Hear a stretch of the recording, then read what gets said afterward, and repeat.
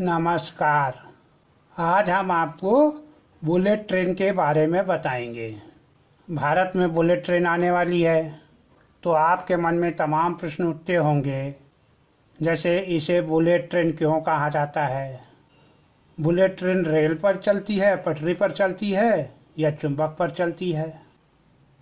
Tilting train क्या है? इसका नाम बहुत कम लोगों ने सुना होगा। बुलेट ट्रेन की लंबी नाक क्यों होती है? यह एक सामान्य ट्रेन से कैसे अलग है? इसमें इंजन कहाँ लगा होता है? और एसी सप्लाई, पावर, मोटर, हम ये सब आपको आज बताएँगे। जो भारत में बुलेट ट्रेन चलने वाली है, वो जापानी टेक्नोलॉजी है और वो है E five series Shinkansen bullet train. तो सबसे पहले मैं आपको बताऊँ कि जो बुलेट ट्रेन है, वो पटरी पर चलती है। किसी मैग्नेट पर या हवा में नहीं। जो मैग्नेट पे ट्रेन चलती हैं, उनको बोलते हैं मैगलेव। वो बुलेट ट्रेन नहीं, मैगलेव। इसका नाम बना है मैग्नेटिक लेविटेशन से। मगर ये जो मैग्नेटिक ट्रेन है, ये अभी टेक्नोलॉजी डेवलप हो रही है। अभी उन्होंने बनाई हैं छोटी छोटी दूरी के लिए। एक किलोमीटर, दो किलोमीटर, पाँच किलोमीटर, ज़्यादा से ज़्यादा तीस किलोमीटर, शायद वो चाइना में हैं। बस, लंबी दूरी के लिए अभी नहीं बनी है, क्योंकि इस टाइप की ट्रेन बहुत ही महँगी है और उनमें सेफ्टी प्रॉब्लम भी है। तो बुलेट ट्रेन भी पटरी पे चलने वाली नॉर्मल ट्रेन है। अब यहाँ हम तीनों ट्रेन के बीच का थोड़ा अंतर बताएँगे। मेन ट्रेन, जो लंबी दूरी की होती है, मेट्रो ट्रेन, जो सिटी के अंदर चलती हैं, और बुलेट ट्रेन। देखिए, ये मेन ट्रेन है। इसमें आगे इंजन लगा होता है और पीछे डिब्बे होते हैं। दूसरा है मेट्रो ट्रेन। मेट्रो ट्रेन में कोई भी अलग से इंजन नहीं होता है। इंजन के जो भी पार्ट्स होते हैं, वो इन डिब्बों में बटे होते हैं। थोड़ा यहाँ थोड़ा यहाँ थोड़ा यहाँ थोड़ा यहाँ। इसलिए आपको इंजन दिखाई नहीं देता। और चारों डिब्बों में यात्री बैठते हैं। उसके बाद बुलेट ट्रेन होती है। बुलेट ट्रेन को देखने में आप मेट्रो जैसी ही लगेगी। इसमें भी कोई अलग से इंजन नहीं होता। इसमें भी इंजन डिस्ट्रीब्यूट होता है। हमने तो यहाँ चार ही डिब्बे दिखाए हैं। बहुत सारे होते हैं। जो इंडिया में ट्रेन आ रही है, उसमें दस डिब्बे होंगे। लेकिन आपने फ़ोटो देखी होंगी या तस्वीर देखी होंगी, जिसमें पहिए नज़र नहीं आते। ये पहिए इसलिए नहीं दिखते, क्योंकि बॉडी के नीचे कवर लगा देते हैं। ऐसे। तो पहिए होते हैं उसके अंदर, बस दिखाई नहीं देते। और बुलेट ट्रेन में यहाँ आगे नोच होती है, लंबी सी नाक होती है। अब बुलेट ट्रेन या किसी भी हाई स्पीड ट्रेन, बहुत ज़्यादा स्पीड से जो चलती हैं, कि एक खासियत है उसकी लंबी नाक लॉन्ग नोस इसका टेक्निकल नाम ही है लॉन्ग नोस तो क्या होता है जब ये बुलेट ट्रेन किसी सुरंग में घुसती है ऐसे तो अंदर हवा का दबाव डालती है और बहुत तेज आवाज़ होती है। इस फिनामना को बोलते हैं टनल बूम। ये जो आवाज़ होती है ना, वो टनल बूम की वजह से होती है।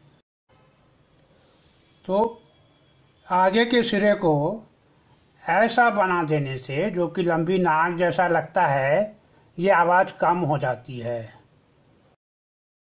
ट्रेन की लॉन्ग नोज़ के बारे में हमने एक डिटेल वीडियो बनाया है। आप उसको अवश्य देखें।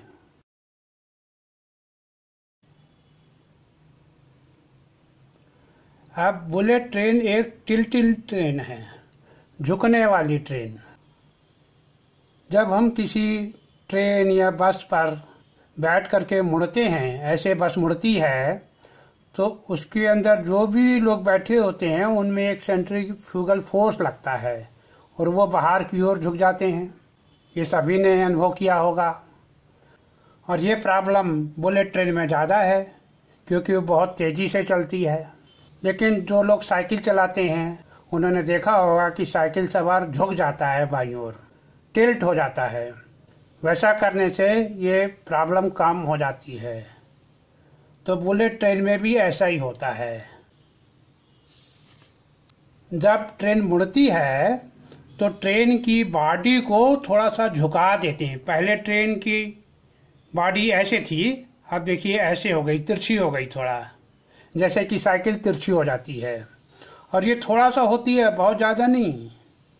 यहाँ पे देखिए ये पहिए हैं, ये पटरी है, और ये बोगी है। ये नीचे के पोर्शन को बोलते हैं बोगी और ऊपर के पोर्शन को बोलते हैं कार बॉडी इसमें कोई व्यक्ति बैठा है तो यहाँ पर देखिए डिस्टेंस कम हो गया, यहाँ ज़्यादा हो गया तो ये मुड़ गई। और इसका जो कंट्रोल है, वो पैसिव और एक्टिव दोनों हो सकता है। एक्टिव कंट्रोल का मतलब जिसको लगातार कंट्रोल किया जा सके। इस कार बॉडी को कितना झुकाना है, कब झुकाना है मोड़ आने से पहले झुकाना है या मोड़ आने पर झुकाना है? ये सब कर सकते हैं। तो ऐसा करने से जो लोग बैठे होते हैं, उनको कम पता चलता है कि ट्रेन मुड़ रही है। तो उतने ही मोड़ के एंगल पर ट्रेन ज़्यादा स्पीड से मुड़ सकती है। अब चूँकि बुलेट ट्रेन मुड़ने पर थोड़ा सा झुक जाती है, इसलिए उसको बोलते हैं झुकने वाली ट्रेन या टिल्टिंग ट्रेन जब सीधा चलती है तो ये नहीं झुकती है, मुड़ने पर ही झुकती है। वो भी थोड़ा सा ये जो नॉर्मल बस या नॉर्मल ट्रेन है, उनमें ऐसा नहीं होता। अब जो बुलेट ट्रेन है, उसकी जो पटरियाँ हैं, उसको स्पेशली डिज़ाइन करते हैं। देखिए, ये जो पटरी दिखाई है हमने दोनों, ये नॉर्मल ट्रेन के लिए हैं। तो आपने देखा होगा कि पटरियों के बीच में थोड़ी थोड़ी जगह छोटी रहती है। पटरी जब जोड़ते हैं तो थोड़ी सी जगह छोड़ देते हैं। बुलेट ट्रेन में इन दोनों पटरियों के बीच की जगह को बंद कर देते हैं और इसको वेल्ड कर देते हैं। यहाँ पर भी, यहाँ पर भी। तो इसको बोलते हैं कॉन्टीन्यूस रेल जिसमें बीच में जगह ना हो। अगर ज़रूरत भी पड़ती है कि हम जोड़ना नहीं चाहते हम अलग रखना चाहते हैं तो ऐसा होता है। ये जो चीज़ हमने यहाँ दिखाई है यहाँ पे जुड़ी नहीं है। देखिए, यहाँ पर स्ट्रेट थी। यहाँ पर पटरी का लेफ़्ट वाला हिस्सा ऐसा है और राइट वाला हिस्सा ऐसा है।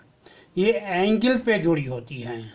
ये तब होता है जब बीच में वेल्डिंग ना हो। देखिए, यहाँ पे वेल्डिंग नहीं है। इसको ज़रा मैं बड़ा करके दिखाता हूँ। ये देखिए। ये जो दिखाई हमने, खाली ये दिखाई है, एक। एक पटरी ये है, एक पटरी ये है। और ये एंगल से ज्वाइंट है, बीच में थोड़ा सा गैप है। यहाँ स्ट्रेट ज्वाइंट थी। तो नॉर्मल पटरी पर आप बहुत तेज ट्रेन नहीं चला पाएँगे। अब बुलेट ट्रेन में एक्टिव सस्पेंशन होता है। ये क्या है? आप कार में या स्कूटर में देखा होगा कि शॉक एब्जॉर्बर लगे रहते हैं, स्प्रिंग लगी रहती हैं जो शॉक को एब्जॉर्ब करती हैं। उसी को सस्पेंशन बोलते हैं। इसमें भी लगी होती हैं। देखिए, कार बॉडी है, ये शॉक एब्जॉर्बर हैं। मगर बुलेट ट्रेन में क्या होता है कि स्प्रिंग के टेंशन को कंट्रोल कर सकते हैं और वो भी इलेक्ट्रॉनिक कंट्रोल होता है। इसलिए इसको बोलते हैं एक्टिव सस्पेंशन। मतलब जिसको लगातार कंट्रोल किया जा सके।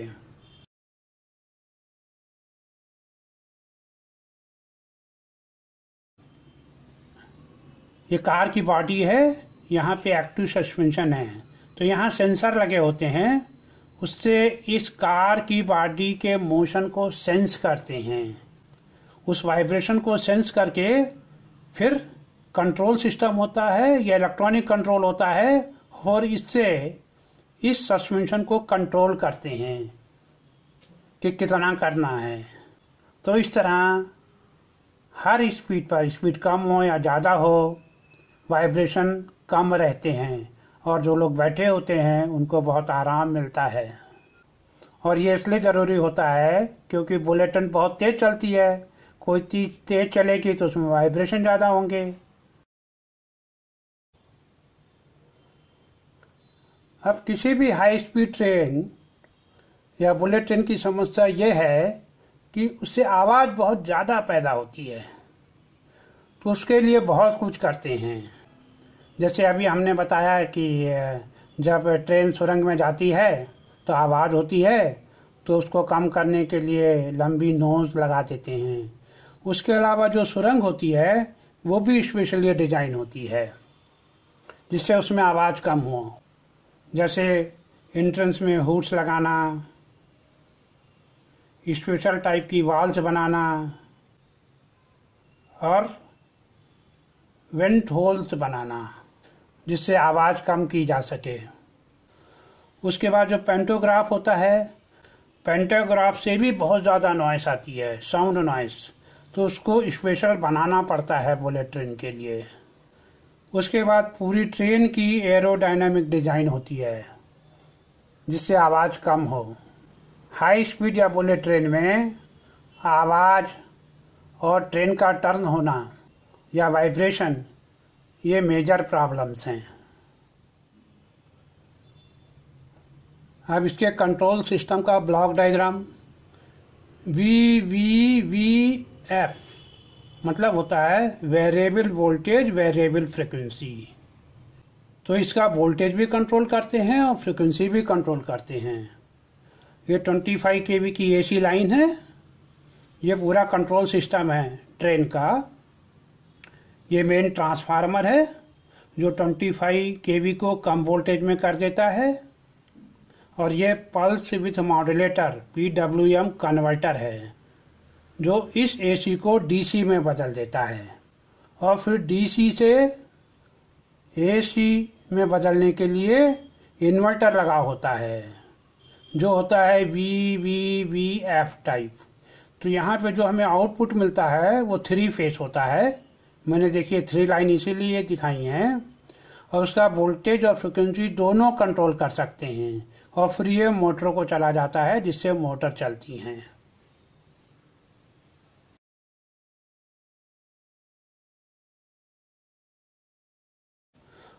ये जो कंट्रोल सिस्टम है, वो बहुत ही एक्यूरेट होता है और हाई रिस्पांस फास्ट रिस्पांस का होता है जो टार को कंट्रोल करता है वेक्टर कंट्रोल के मेथड से। अब जो भारत उसमें बुलेट ट्रेन आ रही है, उस पर बारे में कुछ और बताते हैं हम आपको। ये जो टेक्नोलॉजी है, वो E five series Shinkansen है। जो एसी सप्लाई है 25 फाइव के वी ए इसमें जो मोटर लगी होती हैं, वो 300 वाट होती है। एक मोटर की पावर होती है 300 वाट। और वो A C three phase traction motors होती हैं। और टोटल पावर 9600 किलोवाट ये करीब आएगा 12870 हॉर्स पावर अब देखिए, एक मोटर 300 वाट की है और टोटल पावर है 9600 किलोवाट बहुत सारी मोटरें लगेंगी इस पावर को लाने के लिए। और ये बहुत सारी मोटरें कई कोचेज में थोड़ी थोड़ी बटी होंगी। और उसमें शुरू में टेन कोचेज होंगी, बाद में बढ़ा सकते हैं। उसके बाद ये स्टैंडर्ड गेज होता है, पटरी के बीच की चौड़ाई। जो बड़ी ट्रेन है, वो ब्रॉड गेज में चलती हैं। इसकी जो कार की बॉडी है, वो एल्यूमिनियम एलॉय से बनी होती है।